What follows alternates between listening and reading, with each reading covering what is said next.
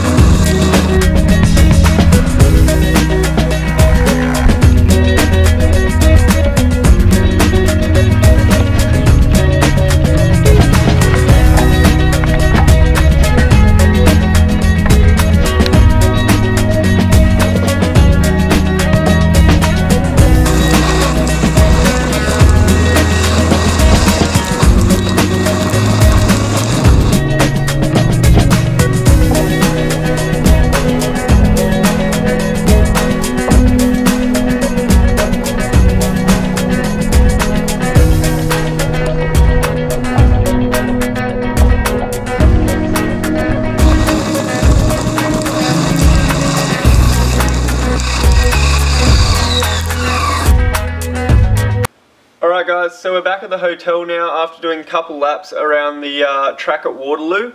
Um, it was pretty greasy out there. There was a few uh, near moments where we are getting pretty close to the fences and the extra buildings on the side there. So yeah, it's a bit wet now, but um, yeah, I don't think the rain will do too much to the actual course. It'll probably be dry tomorrow, so hopefully sunny. And um, yeah, I think it'll be a real fast track, so we'll go have some dinner and uh, yeah, we'll get ready for tomorrow's racing.